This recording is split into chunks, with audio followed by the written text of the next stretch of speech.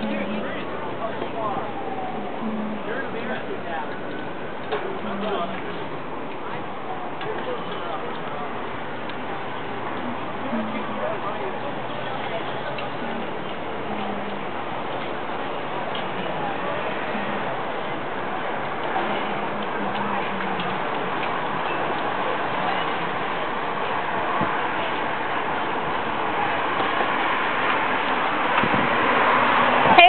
Marissa. Marissa. Oh, she on the telephone.